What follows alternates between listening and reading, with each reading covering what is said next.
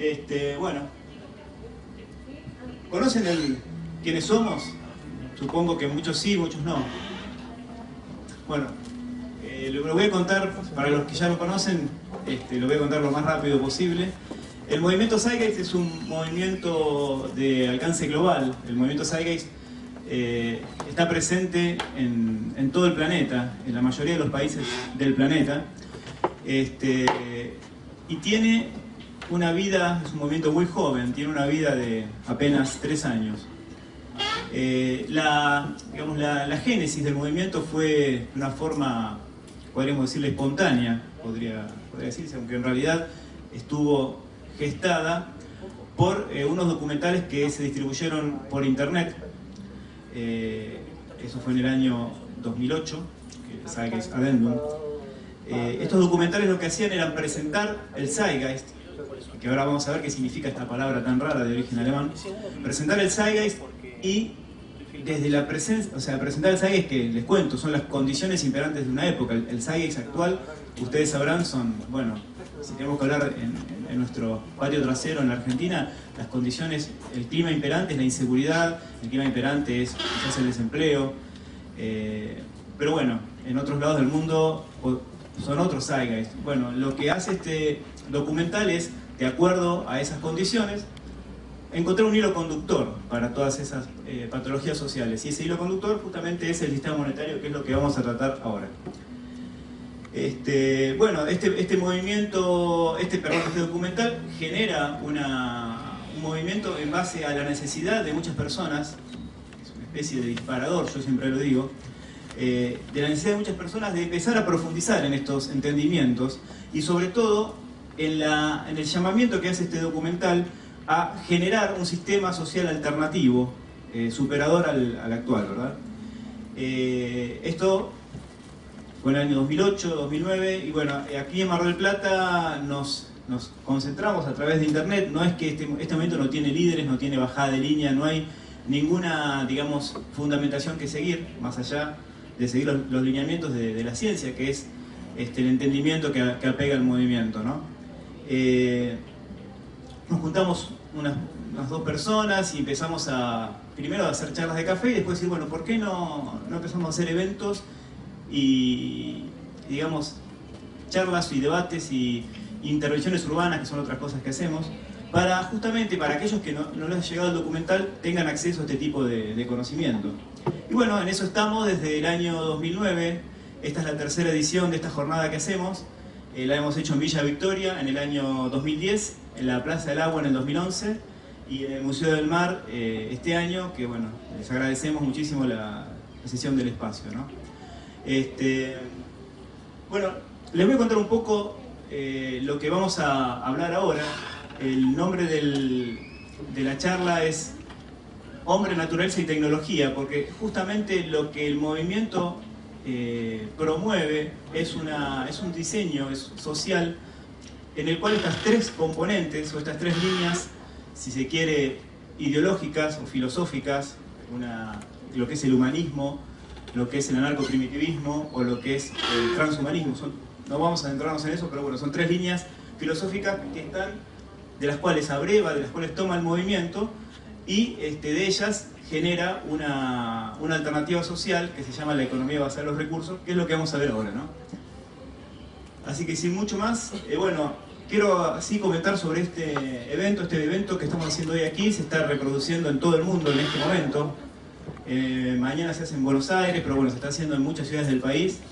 En total se hacen 150 ciudades aproximadamente, en este preciso instante, y se hace en 40 países. Eh, la idea es todos los años encontrarnos en marzo y bueno, seguir con esta, con esta tarea de difusión que es la, la tarea principal del movimiento. Si tienen algo que decir, si quieren que hable más despacio, que no hable, me lo dicen.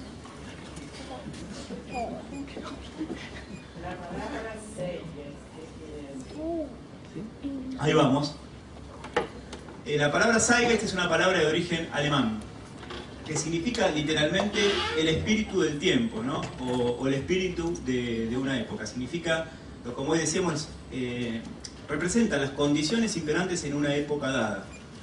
Si hablamos del Zeitgeist de, del siglo XX, de mitad del siglo XX, creo que estaríamos de acuerdo que estaríamos hablando de, la Segunda Guerra Mundial. O sea, si hablamos del Saiges de esa época, es la Segunda Guerra Mundial. O sea, con, con queremos definir al conjunto de eventos y, de, condiciones y de acontecimientos que determinan una época. Si tenemos que hablar del Saiges del siglo XXI, ¿a qué se les ocurre de qué podríamos estar hablando? ¿Tienen alguien una idea? Calentamiento global, buenísimo. Buenísimo, sí. Es todo parte de... ¿Perdón? Internet. Internet. La crisis del capitalismo. ¿Capitalismo dijiste? La crisis del capitalismo. La crisis del capitalismo, sí.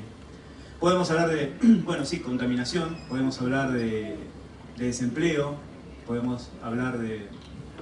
Crisis global. Crisis global en eh, o sea, crisis social a nivel global, ya no es de los países emergentes, sino estamos encontrando crisis y, levantamientos en todo el mundo, incluso en el, mal llamado primer mundo. ¿no? Así que ese es el Zeitgeist de la época. Entonces, lo que hace el movimiento es imprimir en letras bien grandes el Zeitgeist de la época. Eh, la idea de, imprimirlo, la idea de, mostrarlo de forma descarnada es justamente para tratar de entenderlo, para tratar de entender en dónde estamos ubicados como, como sociedad, pero más que como sociedad, como especie, en qué pecera estamos ubicados. Y desde ese entendimiento, desde, como dicen las palabras de, Gandhi, ¿no? poder entender esto, poder transformar lo que es, ¿no? poder transformar la realidad. Poder entender el, el actual es poder al menos tener un atisbo, una posibilidad de transformar esa realidad. Este, así que eso significa Zeitgeist y bueno, si bien el nombre del movimiento no es muy, muy feliz porque para nosotros los, los hispanoparlantes se nos complica hasta pronunciarlo, eh, es el nombre que quedó a raíz de los documentales y bueno, es la forma de identificarnos que tenemos. Si Zeitgeist es el espíritu de una época, también es el espíritu, este, es decir, nuevos, paradigmas de pensamiento, nuevos métodos. Sin duda, sin duda, sí. Cuando digo que quizás no es muy, muy, feliz es por la diferencia. Claro, porque es difícil pronunciarlo, ¿no? Este, ser gay, ser gay, ¿cómo lo pronunciamos? ¿Cómo lo pronunciamos? Pero bueno, se, pronuncia Sai, que significa eh, tiempo, y Geist, que es espíritu. Bueno, esto es blanco sobre negro, como el alfajor, eh, Bagley. Eh, esto es un poco para decir, porque ustedes seguramente vienen con preconceptos, los que no nos conocen, y dirán de qué se trata todo esto. Eh, bueno, para poner un poco de blanco sobre negro, nosotros, eh, y cuando digo nosotros digo el, movimiento Zeitgeist, tenemos estas bases ideológicas, o mejor dicho, esto es lo que no somos. O sea, no propiciamos ningún tipo de pensamiento mágico. El, el nombre del movimiento, y quizás si ustedes vieron los documentales, es bastante seductor para, para ese tipo, quizás también para ese tipo de entendimientos. Pero bueno, ahí pusimos algunas de las cosas que quizás están muy de moda ahora, hablar del fin del mundo, de los mayas, de la conspiranoia, el nuevo orden mundial. Bueno, no tenemos absolutamente nada que ver con todo eso. Eh, nuestro enfoque de la realidad y nuestra búsqueda de alternativas sociales se basa pura y exclusivamente en, en el método científico y un análisis racional de las, de las situaciones. Así que nada, eso es un poco para, para ubicarnos en, el espacio, ¿no? en el espacio ideológico. Y bueno, este, yo les quiero hablar y lo quiero hacer lo más rápido posible para darle lugar a, Matute. Yo les quiero hablar de los problemas, que bueno, lo, tratamos de entre todos encontrar recién cuál era el Zeitgeist de, de esta época. Y coincidirán conmigo que ahí están representados muchos de las patologías sociales a las que estamos eh, expuestos. ¿no? Y, bueno, veo la distribución de recursos, donde vemos personas con exceso de riqueza y gente que pasa hambre. 35.000 niños, bueno, por día, eso no es un eufemismo, eso es real. Y eso es real y pasa, cada vez que sale el sol hay que contar 35.000 niños menos en el mundo, que podrían, muertes que podrían haberse prevenido. Eh, ahora vamos a ver que todas estas patologías son productos de la misma raíz es decir, no podemos eh, dejar de pensar que quizás hay muchas cosas que podrían hacerse para, muchos parches que podrían ponerse para solucionar estos problemas, pero la raíz de todos es lo mismo.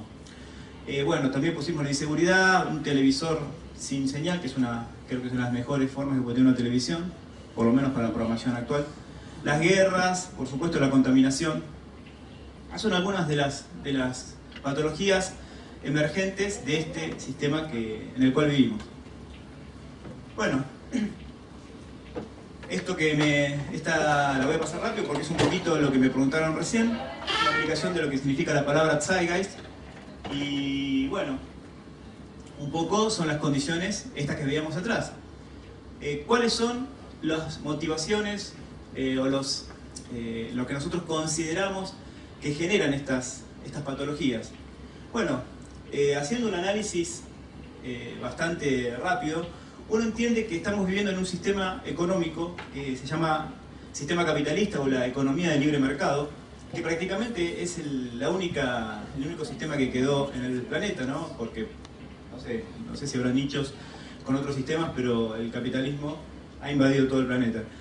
Eh, este sistema en el, que, en el cual vivimos, que es, bueno, trabajar para, para, tener un ingreso y este ingreso utilizarlo para consumir y, bueno, y todo este ciclo que ustedes quizás ya vieron en la historia de las cosas, eh, está totalmente desacoplado del sistema natural de la Tierra. Este, y ese desacople, como, lo vamos a ver un poquito en el detalle, es el causante de la mayoría de todas esas patologías. Bueno, hoy decía cuando arranqué la charla que la palabra economía, uno la piensa, uno imagina economía y imagina contadores y, billetes y, agentes de bolsa. En realidad economizar es una palabra de origen griego. Y significa, bueno, aumentar eficiencia y reducir desperdicio. Eh, téngalo presente esto porque en realidad es muy, es muy llamativo cómo justamente la economía en la cual estamos inmersos no hace nada sino todo lo contrario.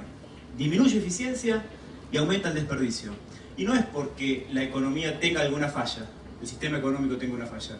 El sistema económico es así. Es una falla o un defecto inherente del propio sistema y es imposible que esto no suceda. Vamos a ver por qué. Ahí, perdón. Ahí tenemos dos economías, la economía de mercado en la cual vivimos y, la que llamamos economía tierra o digamos el sistema de, de renovación de recursos del planeta eh, que es una, bueno, es una mirada, es una mirada, digamos, de la realidad desde el lado científico, es ver, no sé, la tasa de renovación de los árboles del planeta es de tanta cantidad por año, ¿no?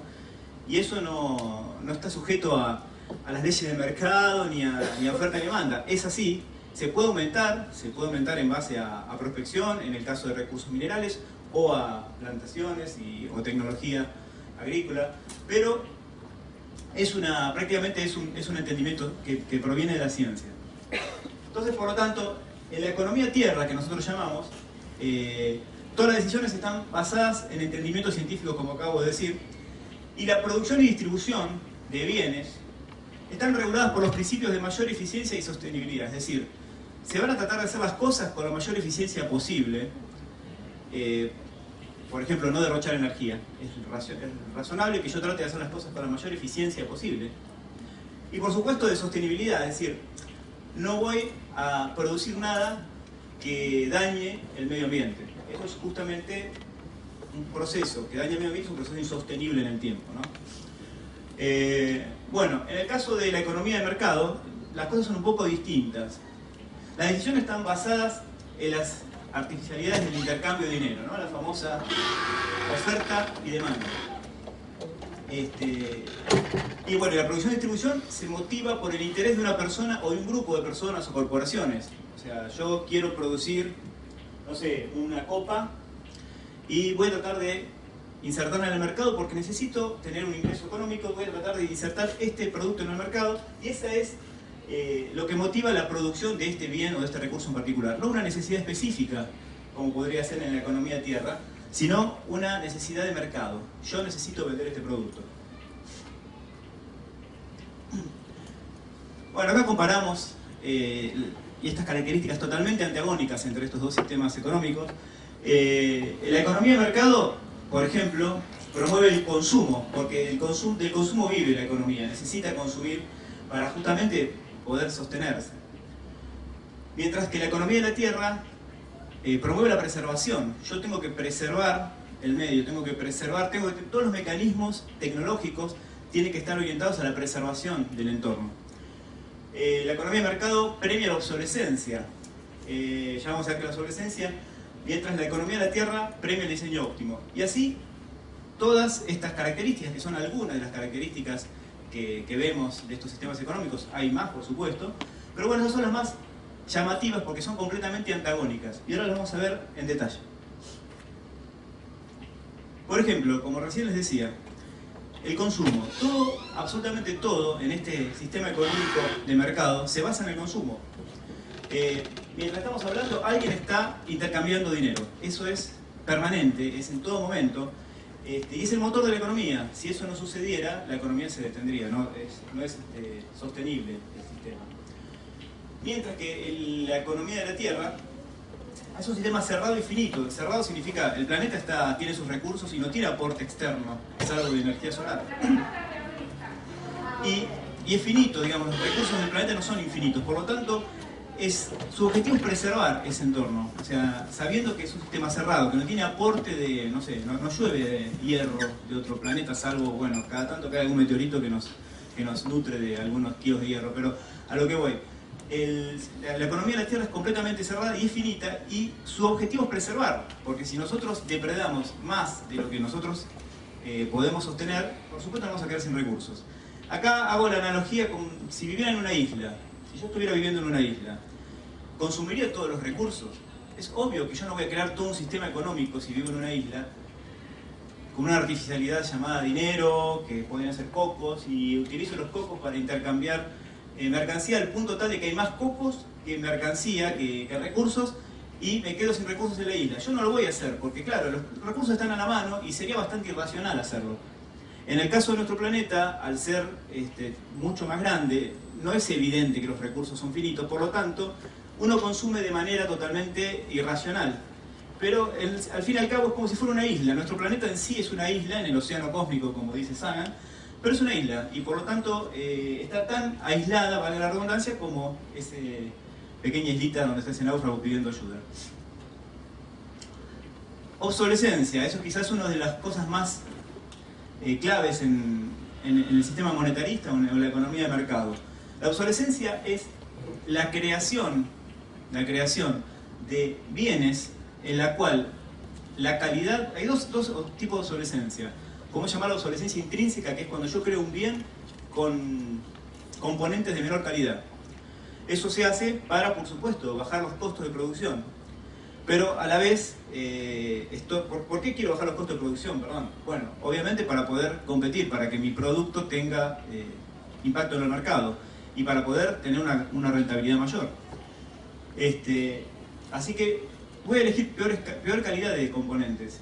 Y a su, vez está la, obsolescencia planificada, que la obsolescencia planificada es justamente la planificación de una vida útil determinada en determinados bienes, ¿verdad? Es decir, si yo fabrico nuevamente copas, eh, a mí me convendría que ustedes la copa la utilicen uno o dos años, por decir un número, y que luego la, la copa se estropee, se rompa, o se degrada el material y empieza a escaparse el líquido, para que me compren otra.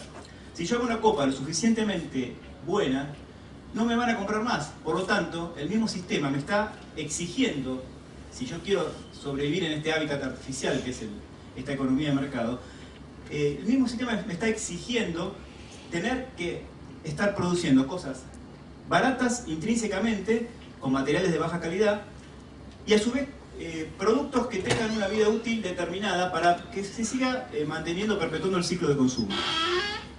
Así que ese es el, tema de la obsolescencia. Por supuesto, la economía de la Tierra se premia el diseño óptimo. Yo no voy a despilfarrar energía fabricando una copa cada dos años cuando puedo hacer una copa que dure 100 años, ¿verdad? Eh, es una decisión ambientalmente totalmente irresponsable el despilfarro de energía y por supuesto es ineficiente energéticamente. Bueno, y eso tiene una, huella, tiene un costo en el medio ambiente que justamente en este tipo de economía, la economía de la tierra, se trata de evitar.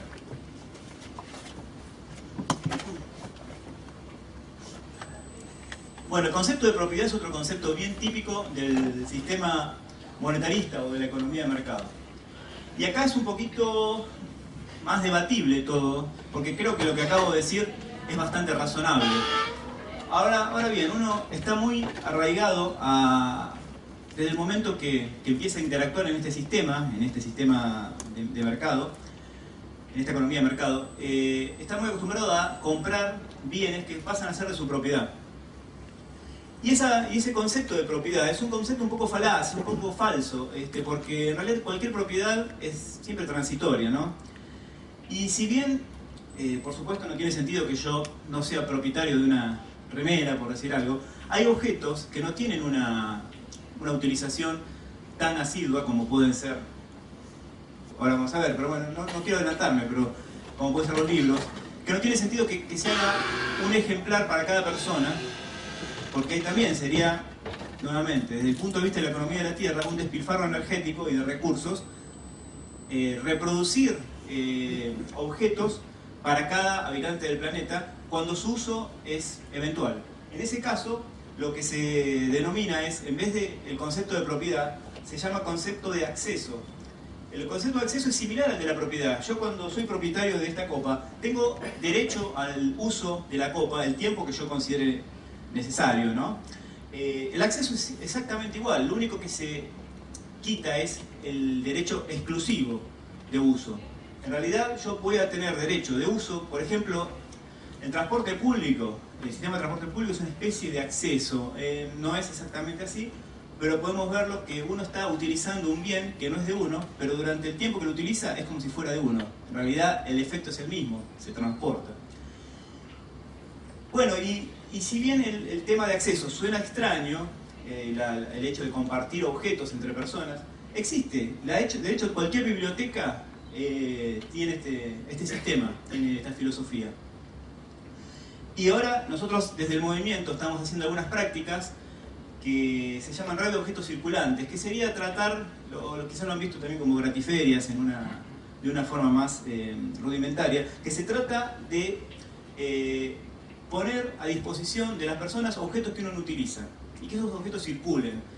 ¿Qué sentido tiene que yo tenga en el fondo de mi casa una cortadora de pasto cuando no tengo jardín, verdad? Entonces, yo lo que hago lo pongo a disposición del sistema y sin ningún tipo de contraprestación, o sea, lo que hablamos es no transaccional, no es que espero recibir nada por ello, eh, yo lo pongo, digamos, a beneficio del sistema porque el sistema en sí se va a beneficiado por ese aporte mío. ¿Cómo se va a beneficiado? Les parecerá inocente lo que les voy a decir. Se va a beneficiado con una construcción de una cortadora de pasto menos. Y eso tiene un impacto medioambiental menor, ¿verdad? Entonces, es positivo, realmente es positivo. Y este ejemplito que le doy la cortadora de pasto, que si bien es bastante inocente, eh, a escalas mayores, eh, realmente los ahorros energéticos, los ahorros de recursos y sobre todo los ahorros en, lo que sería contaminación por desechos son muy importantes. Pero bueno, seguimos viendo la diferencia entre las dos economías. Vimos propiedad y vimos acceso y ahora vamos a ver crecimiento. Qué paradójico, la, economía de mercado, y esto es realmente, a mí me produce mucha gracia, la, economía de mercado requiere que el crecimiento sea casi constante. O sea, cuanto mayor crecimiento, mejor. O sea, hemos visto que los países hablan del PBI como indicador de crecimiento, y si crece el PBI está todo bien. Y en realidad no está todo bien. En realidad eh, está todo mal, porque la misma economía de mercado requiere que ese crecimiento exista. Este, pero el crecimiento tiene que ser casi prácticamente constante. Sin embargo, por otro lado, habíamos hablado que la Tierra es un planeta finito. Entonces, ¿cómo podemos hablar de algo que crece de manera constante cuando los recursos son finitos? Inclusive cuando los mismos recursos, si bien se renuevan, porque si hablamos nuevamente de árboles, los árboles crecen, pero la tasa de renovación de los, de los árboles, o la tasa de renovación de cualquier recurso natural, sin duda es menor que la tasa de, digamos, de necesidad, o sea, con lo que el sistema solicita ese recurso. Y si no es, si no es em, menor, va a serlo en algún momento, porque si el sistema crece siempre, en algún momento esa, ese requerimiento no va a poder ser satisfecho por la naturaleza. Así que el tema de la, del crecimiento en la economía de mercado es, es bastante simpático, porque es justamente es una necesidad, pero es una falla inherente del mismo sistema. Y como puse acá, es Bueno, la consecuencia del crecimiento económico ha sido sin duda el crecimiento poblacional. Hay una curva de lo que fue el crecimiento poblacional eh, del momento que se empezó a desarrollar eh, la, la, petrolera, ¿no? cuando explotó la, digamos, la, tasa de, población, fue justamente con el desarrollo de los combustibles fósiles. Y bueno, y eso tiene un absurdo rumbo de colisión, como vamos a ver.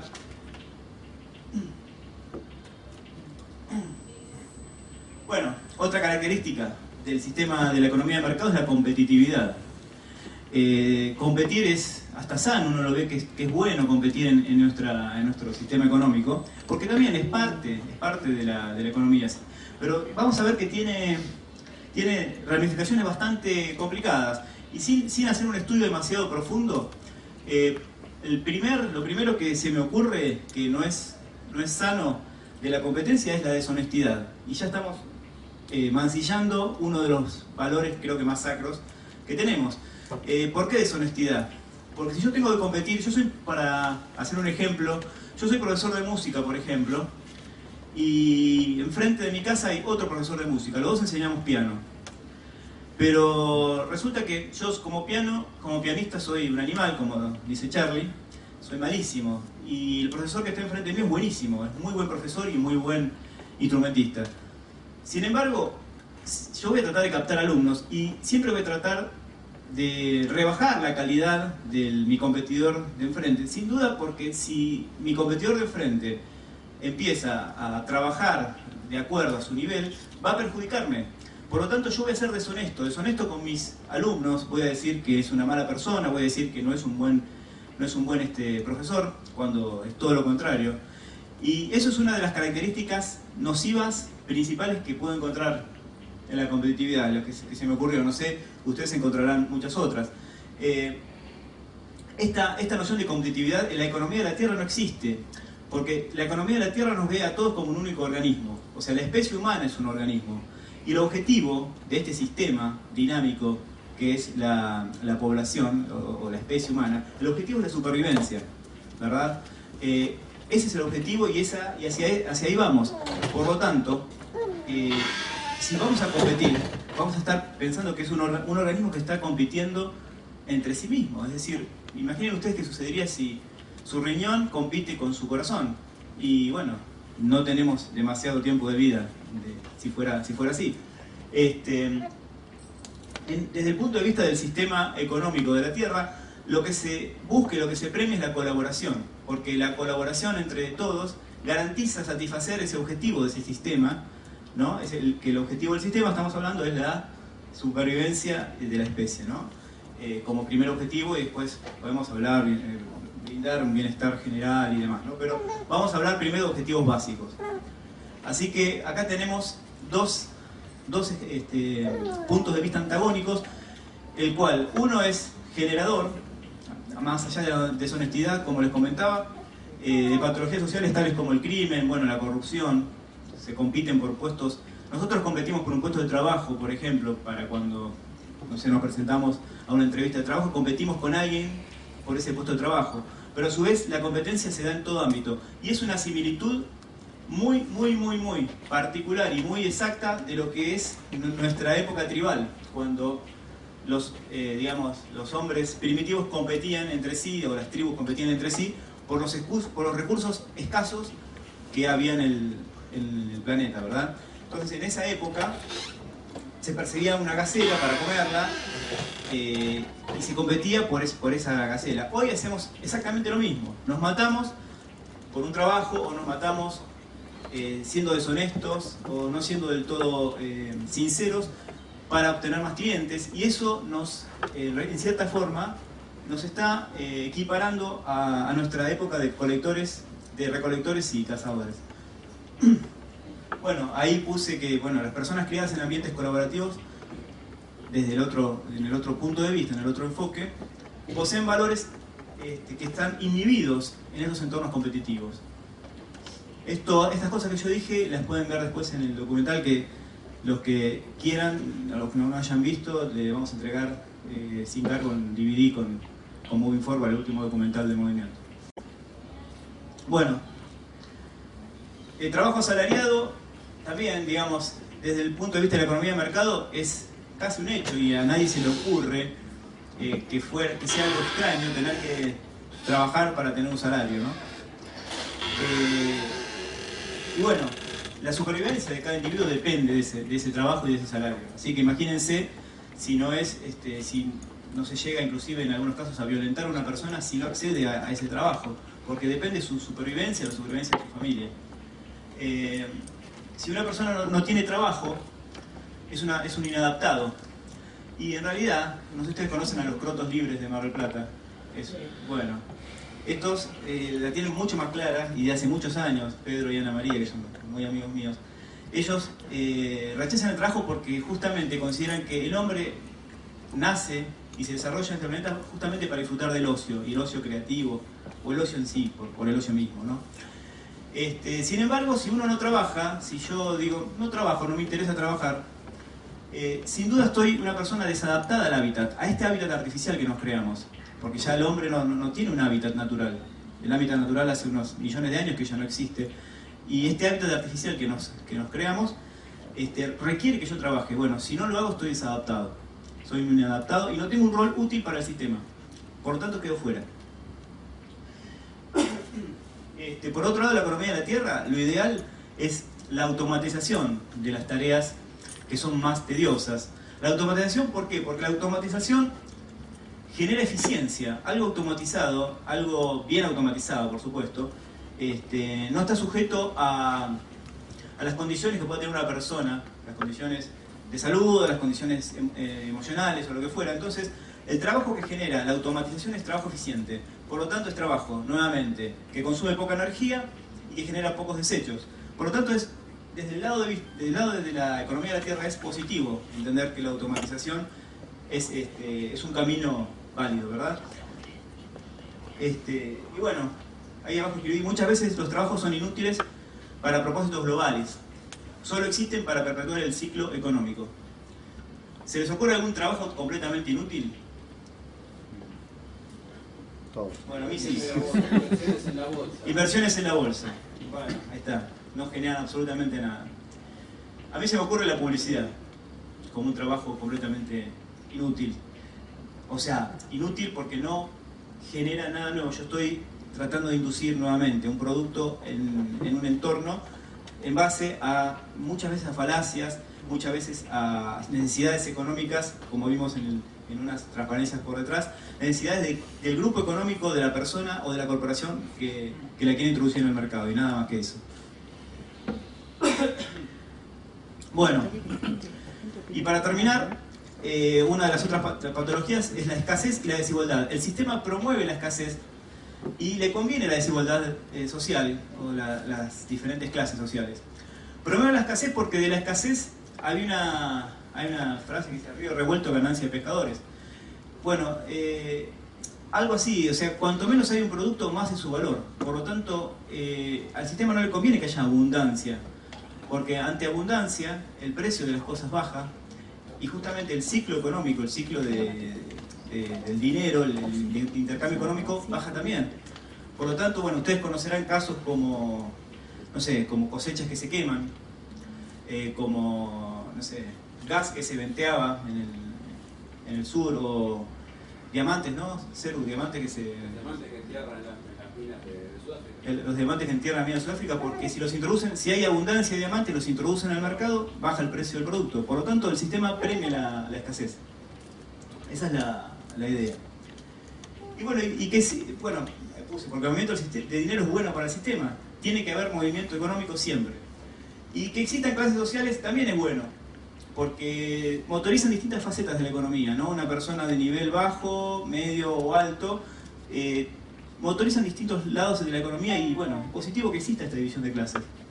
Este, inclusive porque existe también la necesidad en algunas personas de una clase de ascender a otra clase y esa ambición sigue siendo este, funcional a este sistema. Bueno, por el lado de la economía de la tierra, eh, la idea es todo lo contrario, es crear abundancia, porque a mayor abundancia hay mayor satisfacción, perdón, satisfacción eh, de las necesidades humanas básicas.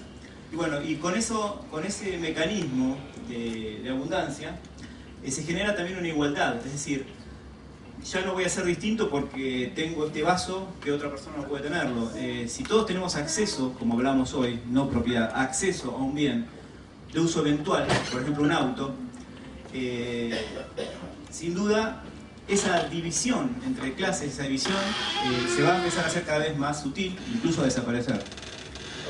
Este, bueno, eso conlleva a, bueno, a, cosas positivas como por ejemplo, eh, estos, estos casos también están en, el documental que nosotros le estamos eh, obsequiando.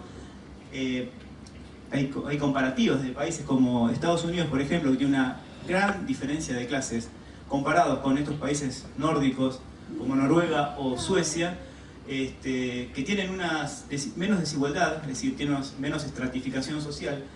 Eh, estos países tienen mejor salud pública, tienen menor tasa criminalística y varios beneficios más.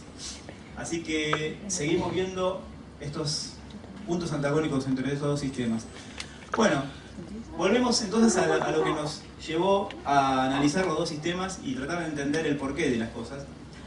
Y entendemos que todos estos desórdenes sociales son producto de este sistema económico, como, acabamos de ver, que serían completamente inentendibles que existieran en otro, en otro tipo de marco eh, social o marco social económico. Este, pero claro, es nuestra pecera, es decir, nosotros no nacemos fuera del sistema y lo vemos de afuera y decimos, entro en el sistema, me gusta o no entro en el sistema. Nosotros estamos condicionados desde pequeños, nosotros, nuestros padres y abuelos y demás, estamos condicionados a este trabajo, a, el trabajo dignifica o, a competir por un trabajo, estamos condicionados a, en muchos casos, ahora se están cambiando, pero estamos condicionados a descartar de manera irresponsable, por ejemplo, a no separar residuos, por decirlo de alguna manera. Y todo este tipo de cosas son eh, nos conforman un marco, una pecera, en la cual nosotros no, eh, no somos conscientes. Este,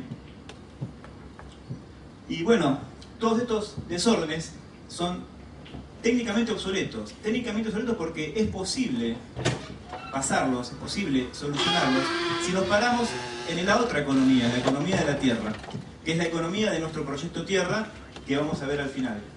Eh, quizás no se erradicarían en completo todas estas patologías, crímenes, hambre, quizás eh, eso demorara varias generaciones, pero sin duda se reducirían muchísimo.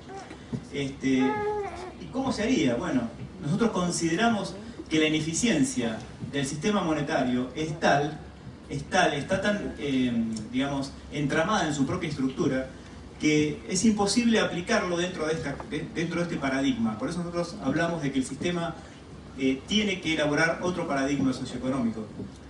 Eh, y bueno, nosotros tenemos a su vez como especie el potencial tecnológico y, científico como para poder aplicar todos estos eh, conocimientos. Y es nuestro potencial como especie. Pero bueno, como dije, estamos en una pecera y bueno, el mismo sistema se autopreserva y es muy difícil, inclusive muchas de las cosas que yo digo eh, suenan como ciencia ficción, justamente por nuestro propio condicionamiento. Pero bueno, tarde o temprano algo va a pasar. Eh, en este momento nos estamos enfrentando con un colapso sin precedentes en el mundo. Eh, antes las guerras fueron producidas por motivos económicos, ahora están pasando cosas que no se están produciendo, que están sucediendo simplemente.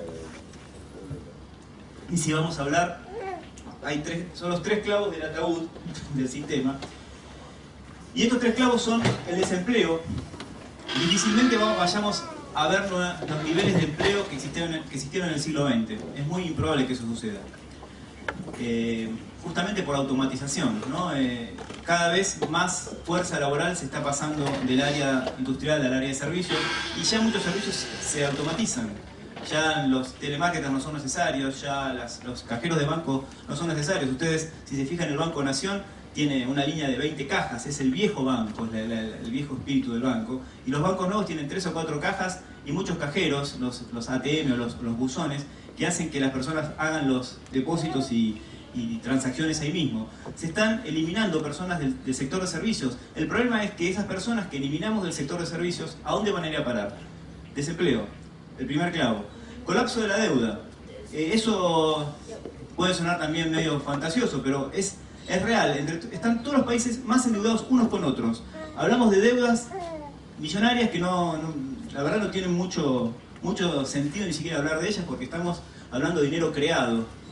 Eh, no, voy a meterme en el tema del sistema de reserva fraccional, cómo se crea dinero, pero el dinero de, las de, estas deudas es dinero que no existe, que no representa absolutamente nada. Y es muy loco porque decir, ¿cómo puede ser que estemos todos endeudados con todos? Si lo vemos desde el punto de vista de la economía de la Tierra, y la Tierra es un único organismo, ¿un organismo puede estar en deuda consigo mismo? Es decir, ¿cómo es eso? ¿Es, ¿Yo puedo estar en deuda conmigo mismo? Es, ridículo pensar en eso. Sin embargo, eso sucede. Este, y bueno, y por último, la crisis energética, que es el tercer clavo.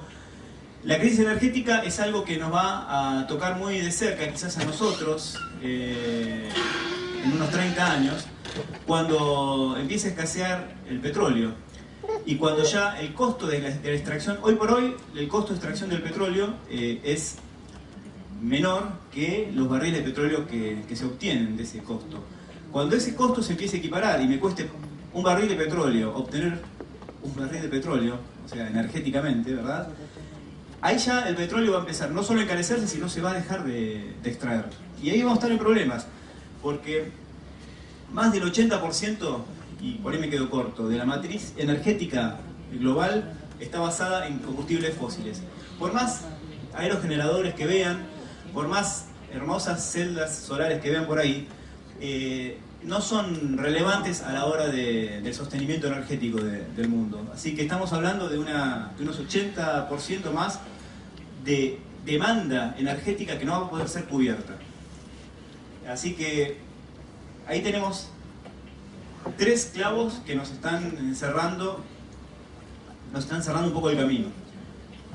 Bueno, para terminar, transición. ¿Cómo hacemos para ir hacia otro sistema económico? Hacia esa economía de la tierra que yo recién les hablaba y que que bueno, que ahora Matute les va a contar de una manera mucho más, este, digamos, familiar hacia, hacia dónde podemos ir o qué podemos hacer. Eh, pero bueno, suena difícil, suena difícil porque son muchas las cosas que hay que cambiar, sobre todo los condicionamientos y sobre todo eh, que nosotros no estamos acostumbrados a pensar de esa otra manera, no estamos acostumbrados a pensar de manera de economía de la tierra. Nosotros estamos condicionados, nacimos acá y es inevitable que, que estemos condicionados de esta forma. Pero bueno, ¿qué podemos hacer? Bueno, yo creo que todos podemos hacer muchas cosas y creo que si el hecho de, el hecho de que ustedes estén acá es porque están haciendo ya algo. Eh, estamos todos haciendo algo. Y lo primero es informarse. Informarse del Zeitgeist, informarse de las condiciones del sistema, entender cómo es el sistema, eh, para poder, poder eh, transformarlo de alguna manera. Esa es la primera, es el primer paso, informarse, la información, la información relevante hoy en día, tenemos internet, no se queden con esta charla, no se queden con lo que decimos nosotros, que somos simples voceros de una idea que está muy interesante, muy copada, pero somos simples voceros, no, no, no, no, tiramos credenciales sobre la mesa, simplemente repetimos algo que nos, que nos lo tenemos muy internalizado, pero nos podemos estar eh, confundiendo equivocando. Para eso están ustedes, para seguir investigando, para seguir informándose.